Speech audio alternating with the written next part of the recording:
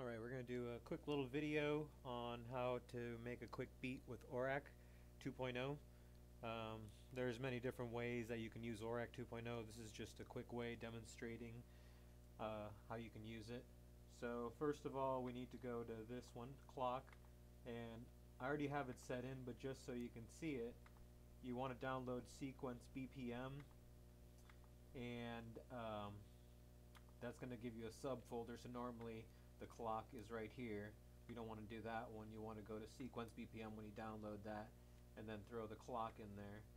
So that's going to make all these other modules work within that clock. Otherwise, the other ones are a little harder to time. You can do the sequence ones, they're on time, but um, I'll show you how this works a little better with uh, sequence is one of the sequencers I use. Um, for So we got that one there. So you should be familiar with these chains, these chains, and then these. So usually I start off with drums on this one. So I have poly beats on there, but then right after that you need to have some sort of drums. So I have sam my sampler 24 one shot in there, and then if I play it right now, you can hear the drums. And then on this chain, this would be the next one.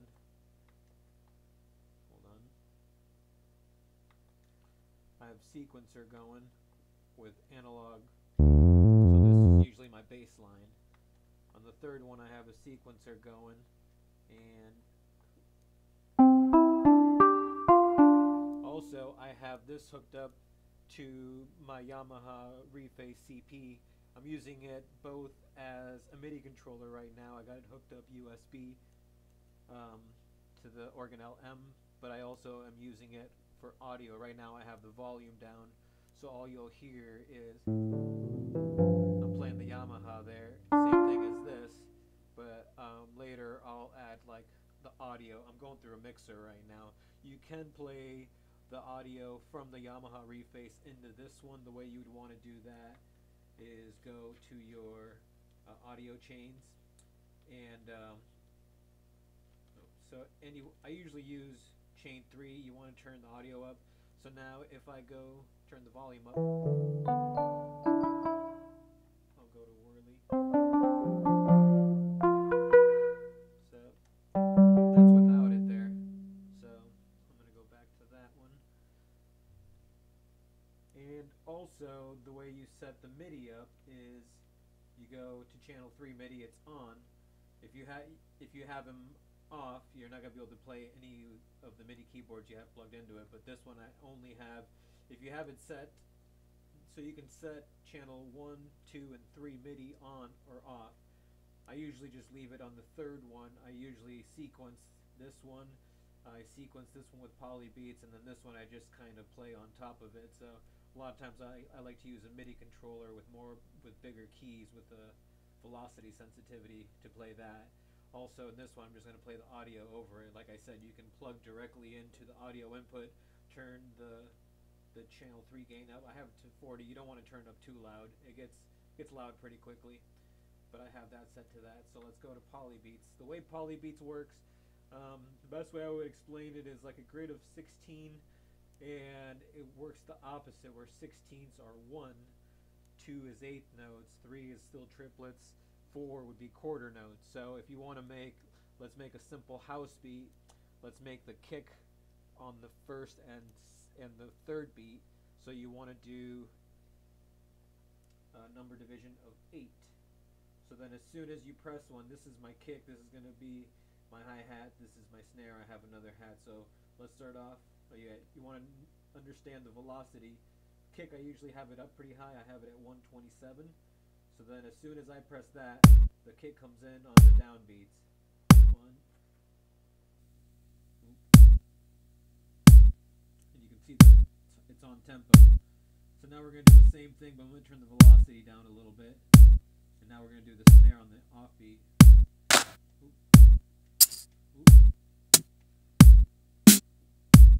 There it is. And now let's turn it down a lot for the hi-hats. And I'm going to do triplets for this one. This ends up being kind of a cool beat. Now I like to do 16ths, which is 1. Turn this down a lot. This is what 16 16th on that sounds like. Pretty simple little beat.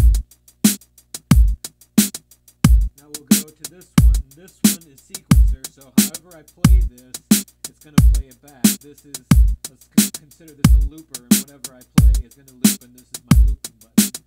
So we'll just do something simple. We'll just keep it on the black keys. And as soon as I start playing, it starts recording. When I want to stop, as long as I stop close to it, it'll it'll quantize it, we'll say.